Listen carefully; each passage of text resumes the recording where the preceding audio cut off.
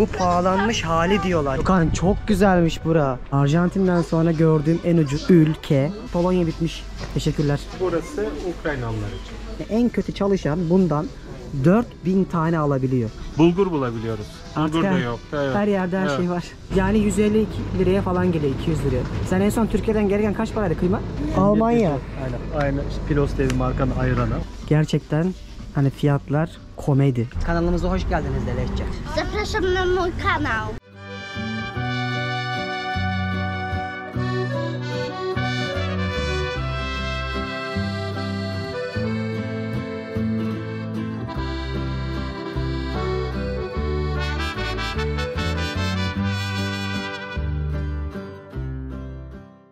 Hanımlar beyler Polonya'dan gezimiz devam ediyor. Önceki bölümde size araba fiyatlarını göstermiştim ki hep birlikte çıldırmıştık. Sıra geldi neye? Market fiyatlarına. Arkamda sadece burada değil Avrupa'nın neredeyse bütün ülkelerinde İngiltere'de olan Lidl'da geldik. Buradaki fiyatlar görece Carrefour'dur e, diğer rakipleridir. Onlara nazaran daha uygun oluyor ve genelde insanlar böyle şehrin e, merkezinde değil de dışındaki bu alışveriş yerlerine gidip alışverişlerini yapıyorlar. Kişi başı gelirin ortalama 3500 zloty'den 5000'e kadar ama ITG'seniz 10-15 bin zloty olduğu Polonya'da insanlar gelin market alışverişini nasıl yapıyorlar? Sizinle bu zamana kadar dünyanın yüze yakın ülkesinde benzer kıyaslamaları yaptık. Ama pandemiden sonra Avrupa'ya hiç gelmemiştim. Bakalım neler değişmiş dedikleri kadar var mıymış? Hadi bakalım size iyi seyirler. Bize de iyi bir alışveriş olsun. Abi gizli gizli yine biraz çekmeye çalışayım. Çünkü insanlar pek sevmiyorlar bu çekilme olayını ve marketleri çekmemizi pek sevmiyorlar daha doğrusu. 1 dolar 4.5 zloty. Ona göre hesaplayın fiyatları. Ben elimden geldiğince de çevireceğim. Gökhan'layız. Ee, Gökhan'ın ev alışverişini yapıyoruz. Yani bu sadece bir video yapmak değil. Gerçekten alışveriş yapacağız. Gördüğüm kadarıyla burada en pahalı şey meyve sebze. Şeyden geliyor, e, dışarıdan geliyor. Hatta birçok e, üründe de üzerlerinde yazıyor. Türkiye'den de geliyor. Limonlar, işte mandalina, portakal. Ya şu mesela İtalya'dan, portakallar Fransa'dan. Mesela avokadolar Kenya'dan geldi. yani yaklaşık olarak Peru'dan 2 geldi. euro. Kanka biz bunun kilolunu 1 euro dolara alıyorduk. Böyle 1 dolardan eurodan aşağı mesela elma alabiliyorsunuz. Muzlar var 8 zloty'ye alıyorsunuz. Üzümler var kilosu 6-7 zloty. Ondan sonra şurada kayısılar var 6 zloty'ye geliyor. Ananas mesela 7 zloty. Yani fiyatlar alım gücüne göre normal ya. Şöyle gidelim asıl ben en çok neyi merak ederim yurt dışında? Et, balık, tavuk. Tatlılar. Bir de içki fiyatları. Tatlılar. Tatlılar mı var? Evet. Neler var mesela? Bak burada neleri seviyorsun? Toffee. Mesela şöyle kocaman meyve suları sıkıyorlar. Bunlar çok güzel oluyor. 6 zloty'ye alabiliyorsunuz. Abi dana ucuz ama şey çok pahalı. Koyun. Benim mesela- gördüğüm. Şöyle gösterebilirim. %100 dana. Burada fiyatını görüyorsun. Kilosu al- 5,5 euro. Yani 150 liraya falan geliyor 200 liraya. Sen en son Türkiye'den gelirken kaç paraydı kıyma? 350 lira 400 arası bir şey. Ben dönene kadar 500 olur. Ne yazık ki öyle. Bunlar domuz mesela renginden anlaşılıyor gördüğüm kadarıyla ve burada inanılmaz bir domuz. şey var. Somon çılgınlığı var. Domuzun- 100 gramı 7.70 yani kilosu 20 lira falan. Sushi 76.99 var. Sushi, ilk defa kilosu. Ha, o zaman 15 liraya falan geliyor yaklaşık Kaç olarak. grammış bu? 21.17. Bunlar yani 4 euroya böyle güzel bir şey alabiliyorsun ya. E, Denizi olmamasına rağmen bu somon Norveç'ten mi geliyor yoksa çiftliklerden mi üretiyorlar? Yazar burada. Nereden geldi? Yazar mı hepsi? Yazar. Valla muhtemelen bu yerel abi. Çünkü İthal olsaydı yazardı. Evet. Ya çünkü ben geçenlerde bunu da sordum. Çok fazla sushici var burada her yerde. Bu Polonya'da sinir, yaşayan. şey sinirsiz kıyma, et kıyma. Tartar yani bunu direkt Tatar. tabağa koyup yiyorlar. Yok yok. evet. Hı. Bunu çiğ olarak Yiyor. üzerine de çiğ Evet. yumurta, onun üzerine de Yedim. soğan ve yiyorsunuz. Bunu yapabilen olursa gerçekten çok güzel. Bu Buradan saf dana kaçalım. eti mi? Saf dana eti sinirsiz. Bu mesela 7.49 ha? 7.49. Oo çok uygun abi bu. Nasıl bu kadar? Bir buçuk euro falan yaklaşık olarak. 200 gram. Ve 200 gram. Evet. O zaman bu ülkede et, balık, tavuk yemeyen yok. Kazandığı parayla. Yani evet. Yani çok güzel. Çok rahat alım, alabiliyorsun. Biraz sonra gezimiz kaldığı yerden devam edecek. Küçük bir ara verdik çünkü sizlere bu videomun sponsoru Holofly'dan bahsetmek istiyorum. Yaklaşık yüzden fazla ülkeyi gezerken sizce internet ve telefon işini nasıl hallediyorum? Biraz ondan bahsedeceğim. Gittiğim her ülkede ayrı bir sim kart almıyorum. Yani bu ne demek oluyor? Artık tek bir sim kart ile 160'tan fazla ülkede rahatça telefon ve internet konusunda istediğim bütün kolaylığa ulaşabiliyorum. Sistem şu şekilde çalışıyor. Size de anlatmak istiyorum. Muhtemelen çoğunuz bunu bilmiyorsunuz. Her şeyi online olarak yapıyorsunuz. Öncelikle web sitesine giriyorum ve girdiğimde orada hangi ülkeye gitmek istiyorsam seçiyorum. Online olarak ödemenizi yaptıktan sonra size bir mail geliyor ve gelen mail içerisindeki QR kodu telefonunuzun modeline göre değişiyor. Ben mesela iPhone kullanıyorum. Direkt QR kodunu okutup aktive ediyorum. Hepsi bu kadar. Bu sistemin en güzel yanlarından bir tanesi mevcut sim kartınızı telefondan çıkarmanıza gerek kalmadan sadece tek bir tuşla e-siminizi aktive edip normal telefon kartınızı da yine telefonunuzun içerisinde tutabiliyorsunuz. Böylece her gittiğiniz yerde sürekli kart takıp çıkarmakla pasaportla işlemlerle vesaire uğraşmıyorsunuz. 160'dan fazla ülkede bu Holofly'in e-simini kullanabiliyorsunuz ve 50'den fazla ülkede de sınırsız internetten yararlanabiliyorsunuz. Ayrıca Avrupa ülkelerinde 60 dakikaya kadar da ücretsiz bir şekilde görüşmelerinizi telefonla yapabiliyorsunuz. Bununla beraber bir şeyleri yanlış yaptığınız ya da tam uyduramadığınızı, sistemi anlayamadığınızı düşündüğünüz anlarda 24 saat canlı destek alabileceğiniz hatları da var. E-SIM'i telefonunuzda çalışıp çalışmadığını hücresel kısmına girip kontrol edebilirsiniz. Eğer çalışıyorsa yurt dışına gidecekseniz telefon hattı ve internetle uğraşmayayım tek bir hat alayım ve bu hattı da çok uygun bir fiyata mal edeyim diyorsanız açıklamaya bıraktığım bütün detaylardan ve Holofly web sitesinden bakabilirsiniz. Orada da uzunca anlattım. Ben yaklaşık bir aydır kullanıyorum. Çok memnunum. Bir ülkeye gittiğimde diyelim başka bir ülkeye geçiyorum. Avrupa'da anında sinyali almaya başlıyor ve tek bir paketle benim aldığım paket çünkü öyleydi. Özellikle Avrupa'daki birçok ülkede sınırsız bir şekilde internetimi kullanabiliyorum. Değişen dünyamıza ben de ayak uydurdum ve bu e-sim kart sistemini çok beğendim. Zaten beğenmeseydim bunu sizlerle paylaşmazdım. Markayla da bir işbirliğim oldu. Hani bana destek vermek isterseniz açıklamadan bakıp incelersiniz ama gerçekten beğenmeseydim kendilerine söylemiştim. Bunun tanıtımını yapmayacaktım ama çok memnun kaldığım için ve benim gibi bir gezginin e, çok işine yarayan bir sistem olduğu için sizlerle de paylaşmak istedim. Harika çalışıyor. Gerçekten memnun kalırsınız. Fiyatları da gayet iyi. Açıklamada da detaylıca anlattım. Hadi bakalım kaldığımız yerden devam edebiliriz. İşte amacımız bu zaten. Bunu anlatmaya çalışmak. Yani bu ülkede 10 bin 15 bin zloty kazanan IT'ciler de var. Evet. En kötü 4-5 bin kazanan minimum kazanan insanlar da var. Ya 4-5 bin kazanan çok az insan vardır yani. Ee, asgari ücretle kimse çalışmıyor diyebiliriz yani. Öyle mi? Herkes asgari ücretin çok üzerinde çalışıyor. O zaman şöyle bir Mesaj alındı. gezer ürünlerden birine benziyor ama Aa, sucuk kimin? Almanya. Aynen. Aynı işte Pilos diye bir markanın ayranı. Onlardan aldım ben Çok de. güzel. Bu 1001 gece e, haftası oluyor burada Türk gelmiş. Bu Lidl'ın e, Lidl normalde Almanya'da çok e, şey yaygın bir marka. Polonya'da da çok aynı şekilde yaygın. İtalyan haftası, İspanyol haftası. İndirim mi yapıyor o zaman? E, indirimler de oluyor. İşte Türk ürünleri getiriyor mesela bir hafta. E, pide getiriyor, işte sucuk getiriyor, ayran getiriyor. Gördüğünüz gibi. Oğlum siz ne arasan var burada ya. Polonya'da aç kalmak imkansız. Abi şunu öğreniyorsunuz bir de zaman geçtikçe ülkelerde refah seviyesi yani o sosyal devlet olma yolunda ilerleme arttıkça herkes neredeyse her şeye ulaşma konusunda biraz daha rahatlıyor. Ama sıkıntı büyüdükçe o aradaki uçurum artıyor. Polonya bile bunu son yıllarda toparlamayı başarmış. Gökhan burada 13 yıldır işte Hüseyin abi 15 yıldır yaşıyor. Onlar da aynı şeyleri söylüyorlar ki diyor bunlar pahalanmış hali. Ama diyor tabii ona göre de diyor özellikle fiyatlar arttı ama maaşlar da artmış. Kiralar da biraz sıkıntı burada gibi geliyordu bana ilk başta ama 4000 zloty'ye falan çok güzel bir yerde kalabiliyorsun ve genelde iki kişi çalıştığı zaman rahat bir şekilde burada hayatını idare ettirebiliyormuş. Hüseyin abi bana eski günlerdeki deneyimlerini aktarıyor. Burada tayin var. Bakın bildiğiniz yazıyor zaten. Nerede üretiliyormuş acaba bu abi ya? Kendi ürünü yine. Ha, Polonya ürünüymüş. Polonya'da üretiyorlarmış. Ya bir 10 yıl önce bulmak çok zordu ama şu anda tahini bulabiliyoruz markette, normal markette, pekmezi bulabiliyoruz. Bulgur bulabiliyoruz. Artık Bulgur da her- yoktu. Evet. Her yerde her Evet. şey var.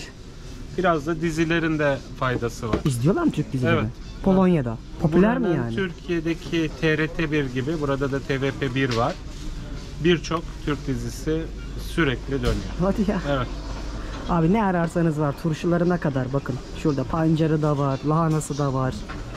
Burada makarnaya koymalık pesto soslar var. Yani adam mesela şöyle bir tane ton balığı var. 1 euroya falan geliyor. Yani en kötü çalışan bundan 4000 tane alabiliyor. Öyle bakın her şeye arkadaşlar. Diğer türlü yoksa anlaşamıyoruz. Ve böyle üçlüleri var. Yani farklı farklı açılmış pakette olanları var. Kılçıksızı.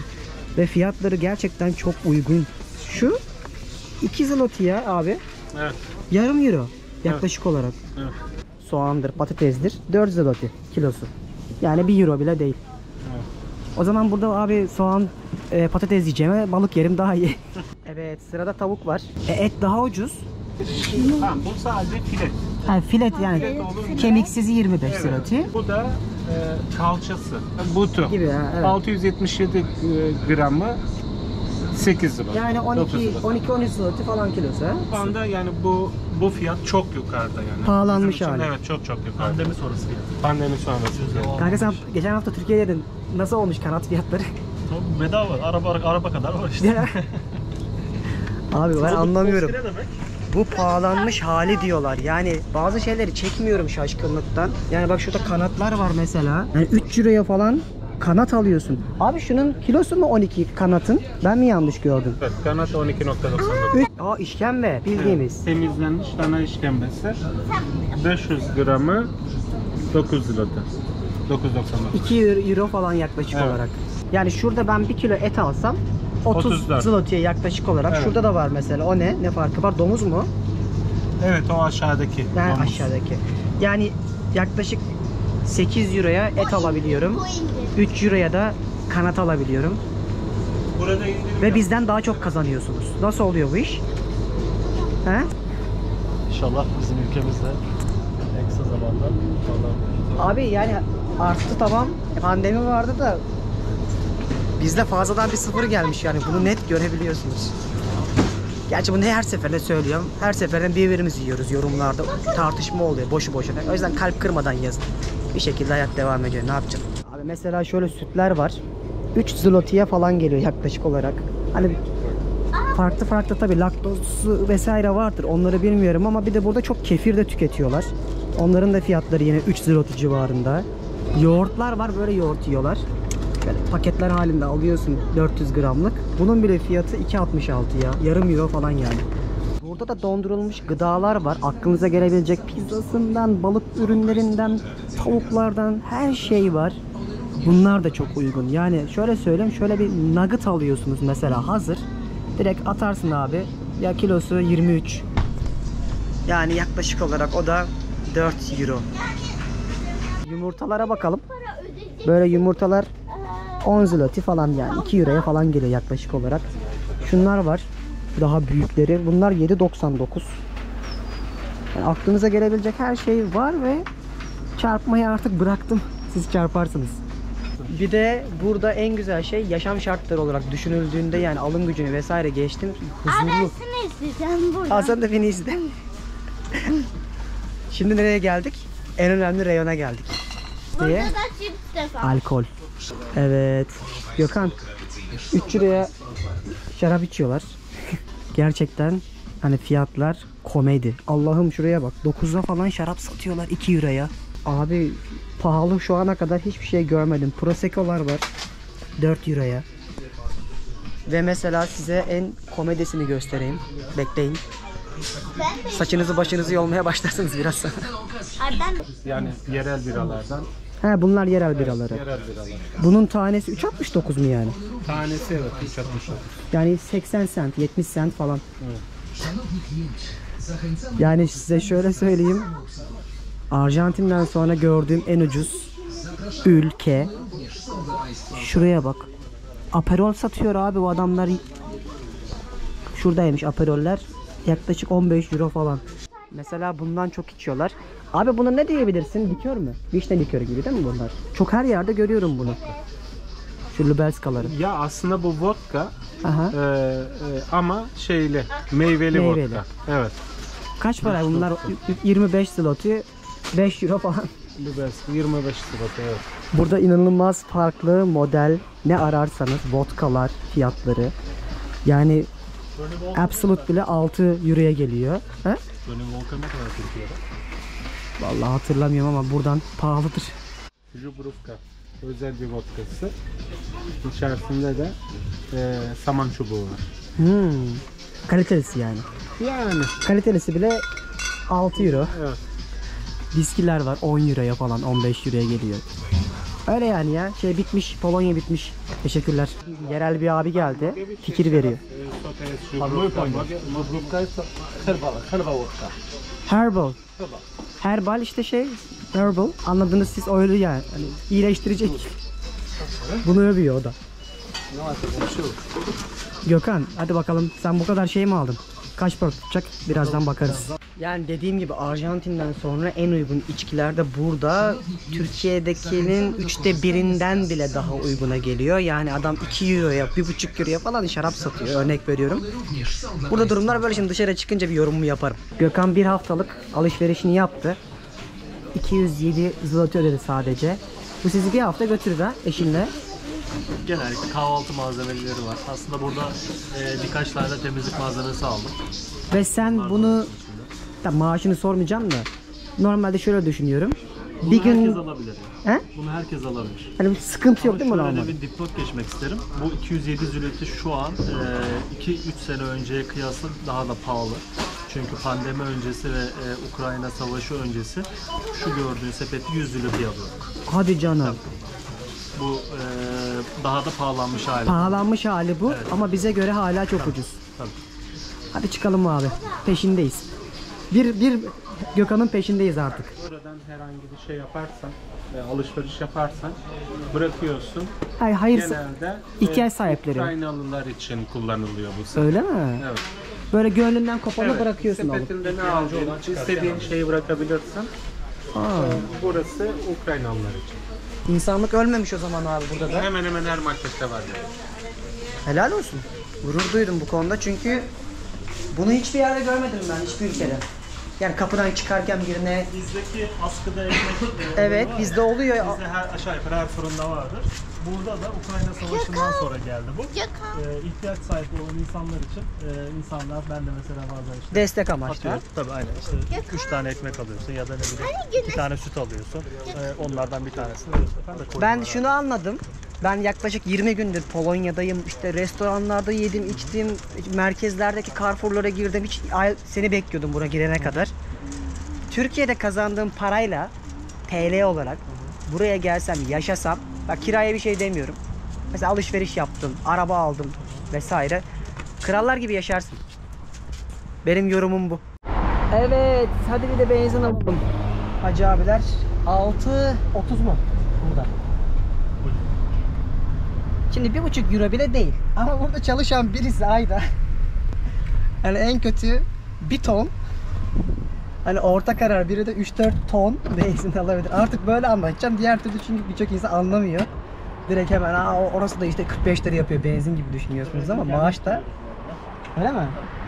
Maaşlar ama şeye göre düşünüldüğü zaman alım gücüne bak baktığınızda böyle bakmanız gerekiyor. Öyle yani Polonya'da işler çok değişmiş.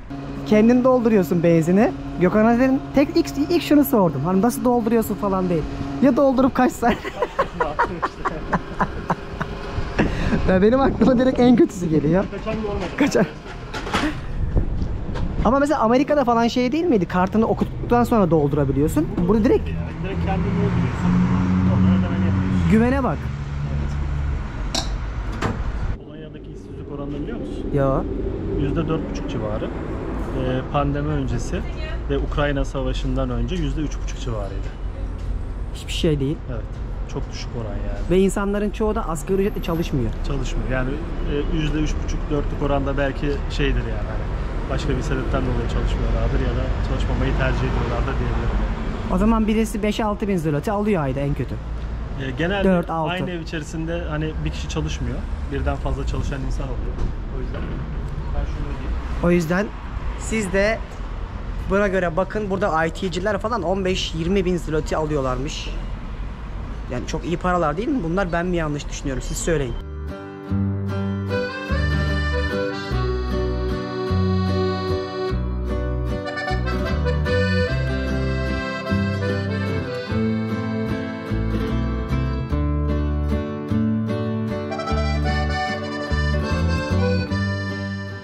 gördüğünüz sistemi size anlatayım. Avrupa Birliği yasalarına göre böyle yaşam yerlerine yakın yerlerdeki otobanlarda, yollarda gürültü kirliliği olmasını engelleyen böyle paneller var. Böyle kimisi camdan oluyor, kimisi böyle duvardan oluyor. Bu şekilde bu bölgede yaşayan, muhitte yaşayan insanların evlerine ses çok az geliyor. Şimdi yorulduk. Elif Su'nun canı dondurma çekti. Burada dondurma yemeye gidiyoruz böyle yol manzaralarını izleye izleye. Krakow'da çok büyümüş. Eskisi gibi ufak değilmiş artık. Şu an geldiğimiz yerler mesela hep dutlukmuş. Geldiğimiz yerin ismi buymuş. Bakalım dondurmasına. Eyvallah abi. Oh içerisi buz gibi. Böyle bir dondurma aldık. Hmm, Çok güzel. Hava o kadar sıcak ki. Vallahi dışarıya çıkmaya bile üşeniyorum. Herhalde Polonya'nın en sıcak döneminde geldim Gökhan. Çok lezzetliymiş ama dışarıda bunu atıyor. Ne aldın? Mangolu. Mangolu. Altındaki. Bu da sütlü. Sen ne aldın? Karmezen Hadi le. Hüseyin abinin kızı Elif Su. Şey hadi arkadaşlara şey de kanalımıza hoş geldiniz de Lehçe. Unuttum hala bilmiyorum. Ama Lehçe hadi denersin ya. Kanal, kanalıma hoş geldin ne demek Lehçe'de? Ya hala hatırlamıyorum. Zapraszam na mój kanal. Aa evet. Hadi söyle. Zapraszam na mój kanał. Bu da aksanlı konuşuyor. Allah'ın işi. Şimdi çok güzel bir yere geldik. Zakşubek adında. Burası eskiden bir madenmiş. Taş madeniymiş. Sonra burayı kaldırmışlar ve şurada oluşturdukları havza işte yer. Bakın ne olmuş bekleyin. Çok beğeneceksiniz. Gökhan çok güzelmiş bura. Ben bura Krakow'da böyle bir yerin olduğunu bilmiyordum. Burayı Haziran ayında açtılar. Pırıl pırıl. Pırıl pırıl. Ee, ücretsiz. 600 kişiyle e, kapasitesi sınırlı. 600 kişiden sonra sıra oluşuyor. İnsanlar çıktıkça kaç kişi çıkıyorsa yerine o kadar insan Ben şuraya yüzmeye giderdim. Ne kadar güzel ya. Şu an bildiğiniz yapay gölün içindeyiz. Ve çok güzel geçen yine bir günün ardından Gökhan'la ve Hüseyin abiyle size ülkeyi anlatmaya çalıştım. Polonya'da işler çok değişmiş. Görün istedim. Yani çok hızlı gelişiyor, çok hızlı değişiyor. Bence satın alma gücü olarak da çok çok iyi duruma gelmiş adamlar. Bilmiyorum sizin yaşadığınız ülkede durumlar nasılsa yazın yorumlara rehber olsun. Bundan sonraki bölümde de sizi Polonya'da çok özel bir yere götüreceğim.